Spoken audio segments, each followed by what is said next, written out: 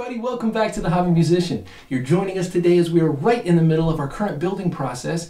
Um, but don't worry, if you want to get caught up on anything before, or if you want to jump around to the different phases of the build and find whatever's more applicable to what you're working on, click the link at the top right now, and that will open up a playlist where I've arranged just the episodes in this specific build. Well, the name of the game today is Next. We're going to talk about everything that we did from start to finish to get us to the point where I'm holding this neck right here. With one exception. The only note that I have for that is, as I was preparing, you know, uh, getting everything ready for this video, I realized that when it comes to the angled headstock that we made, the steps and the care and the thought that goes into just making that headstock angle really warrants its own full episode. So once you're done with this, go ahead, use that playlist we talked about, and click in to watch that dedicated video that'll show you all the steps you need to know to kind of do a DIY um, angled headstock all, you know for your own projects. That's the only kind of exception to what I'm going to cover in this video. Okay, well then, with that out of the way, how did we start? Well, we started the same way we started with the body blanks. We're using reclaimed or salvaged wood. So I didn't go and buy a piece of lumber. I had to make my piece of lumber. And here I've got examples of the pieces I ended up using. Now in this big order of uh, modular desks that we used for, for the body blanks, there were also these little thinner strips that I think um, got used when you install shelves. You you know, install one on one side, one on the other side, and then you can set a shelf across it. Well, there was a whole pile of leftover pieces. Some were longer, some were shorter, some had notches cut into them. But the guys that were, um, you know, doing that project, they said, "Look, this is all junk. Take whatever you want. We're going to throw it away anyway."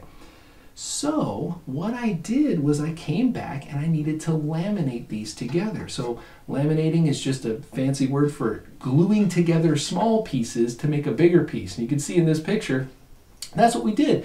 Um, I pulled out pieces that were long enough, glued them all together to make um, planks or boards.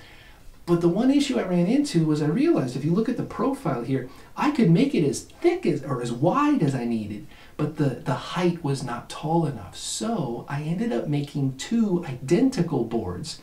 And then after that first gluing was done, I pulled out the thickness planer you can see here, uh, ran them through just because some of the glue had kind of squeezed out the top and the bottom and I wanted to make sure that I recreated perfectly flat tops and bottoms uh, faces then I just glued one board onto the other board. And once I had that done, now I had a blank um, that was thick enough for us to come back and do the rest of the process.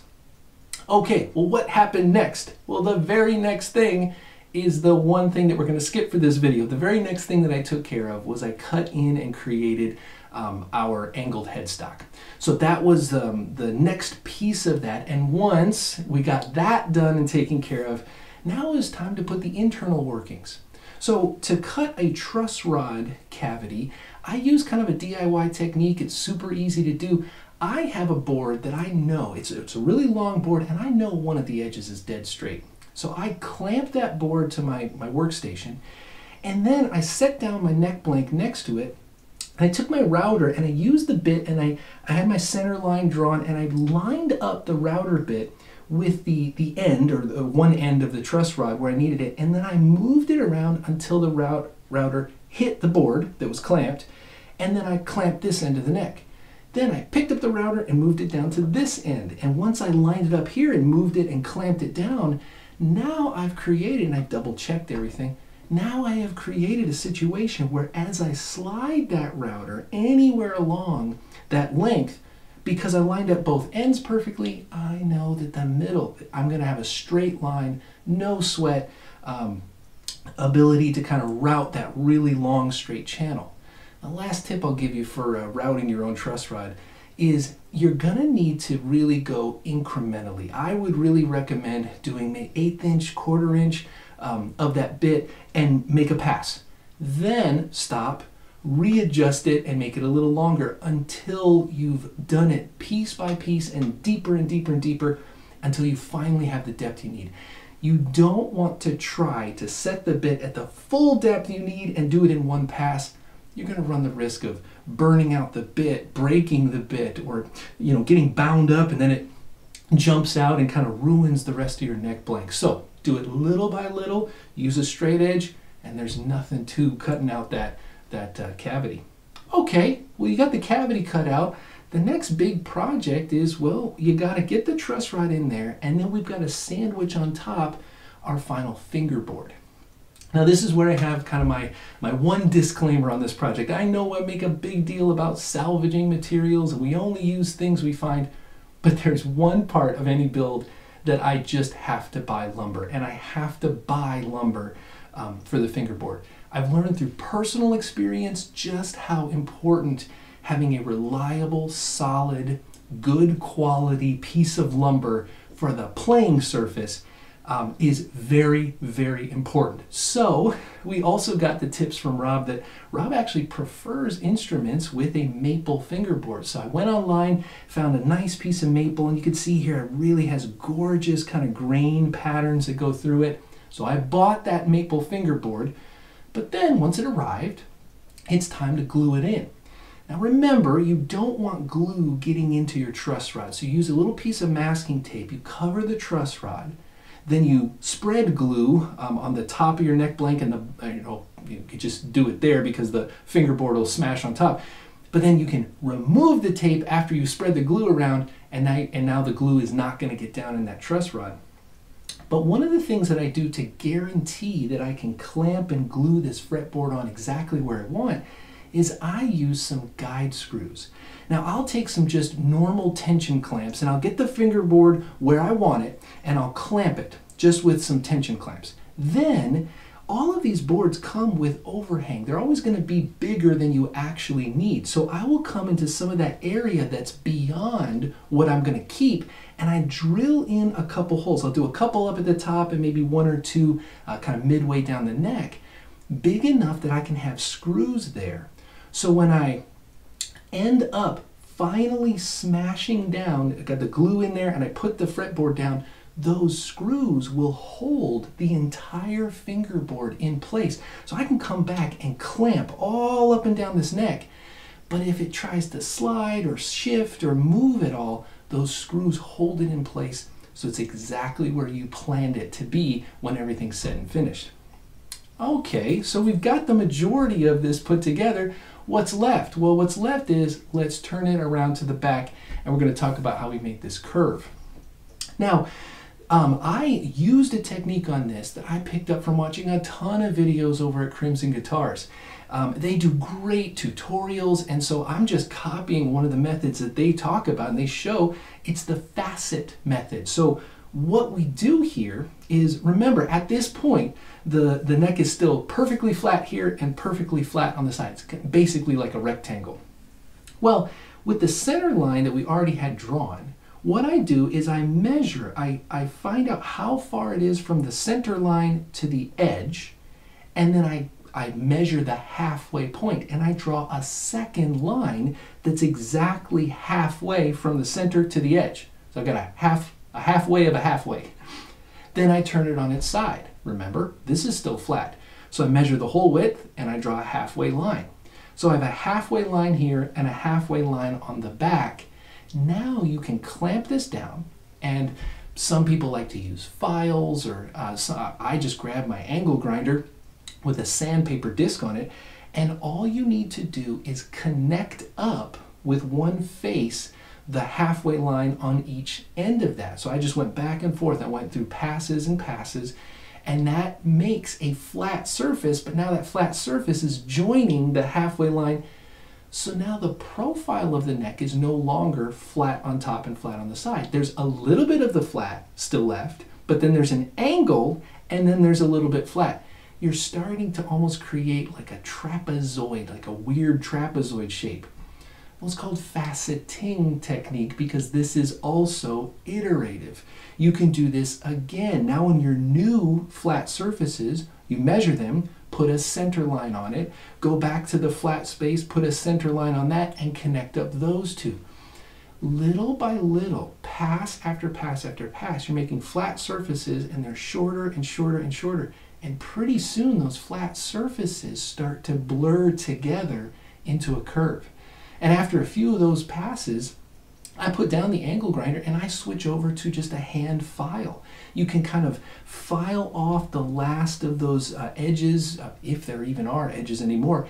And then after the filing's done, you go through your series of sandpaper to get this beautifully smooth, beautifully curved, and comfortable neck profile, all with hand tools and rulers. Um, so it's a really, really cool technique. It's really easy to do, and even though I'm really, uh, I'm brand new to that technique, I had no trouble at all um, in, in accomplishing that and getting a really comfortable feeling um, curve to the back of the neck. Okay, the one last thing that we're going to talk about is this crazy configuration you see right here on the top. After all of that stuff was done, I turned my attention to the markings and the frets and the not frets and everything that you see here. Well, if you do remember what we talked about in the initial episode when we met Rob, Rob was talking about this idea that he was he was interested in trying to find new creative outlets uh, for for songwriting, and one of the ideas he had was, what if the instrument itself was a way or a source for him to find creative inspiration? So this idea of well, you could have all frets like a I don't know, traditional normal guitar. You could have all fretless, like a traditional fretless, but he was thinking, what about something that was a hybrid? Some partially fretted and partially fretless. So that in this case, something like rhythm chords, like if you're just holding down a rhythm section of a song, you would have about five frets that you could kind of hold down kind of normal chord shapes. But then if a solo section or a bridge section came up, you could really kind of explore the upper reaches of a fretless and you never have to change instruments. So I, in order to accomplish that, what I did was I took my fret saw and I measured out all where the frets should be, but I measured them all out and I cut every single fret.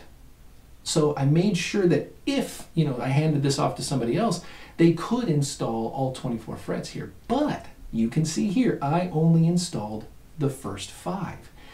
Then what I did to create the fretless, um, you know, portion, the rest of the neck, that's where these paints come in. Now, um, these are just enamel paints um, that I went down to the local kind of craft store um, and they dry really, really hard.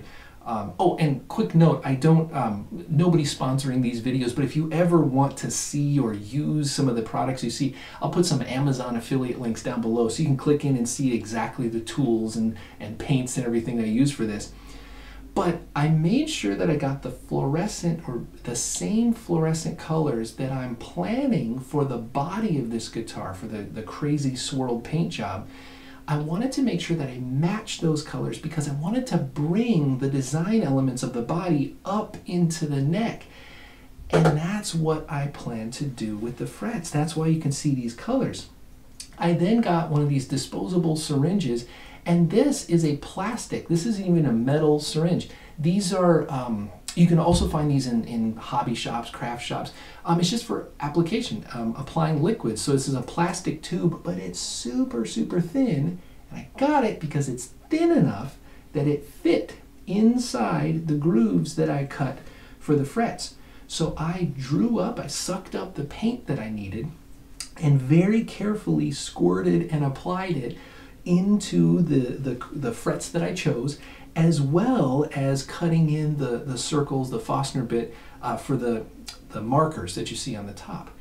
Now the glue that I use does dry over time and when glue, or not glue, the paint, when the paint dries, no matter what you're using, the volume shrinks. So even though when I applied it, it was level to the surface, as I would come back in a couple hours and it would actually have sunk down. So I had to go through several coats but I, I gradually coated in or built up the, the level of paint so that now when you run your finger across, um, I built it up to the level of the fingerboard. And as you can see in this picture, it was a messy process. The paint was a little difficult to work with and a little bit of it would kind of run, you know, over the top of the surface. But the best part about this was that after it was dry, I came back with some fine grit sandpaper and I was able to then work back little by little, sand back that excess paint. And once I had sanded away the extra paint, then the sandpaper was going back and forth on the wood and it wasn't hitting the fret anymore. And the clean, crisp, perfectly straight lines visually came back uh, onto the fretboard. So after the frets, you know, I, I put in the, the first five frets, uh, painted the rest of the markers and all the fret lines, the last thing to do was to seal it. So I pulled out the True Oil, We use that on every single project we do here. And I put coat after coat after coat. I really recommend going thin. I, I do really thin, light coats, but I do a lot of them. Uh, some people do a few coats, but they just slop it all on at once. Hey, to each their own. Um, but that's how we got this nice kind of um, shine to it, this nice protective finish that's going to keep this uh, playing for years and years. So in the end, that's how we took uh, little leftover strips of lumber like this, put it all together, some TLC and some uh, time, and now we've ended up with um, a neck just like this. Now sure, this headstock is blank because I'm going to do the same uh, paint swirl uh, on the headstock that we do for the body, so that's coming up later. But other than that, that is how we put together this neck. So I hope you got something out of that. I want to thank you so much for watching. And until next time, play on, my friends. Play on.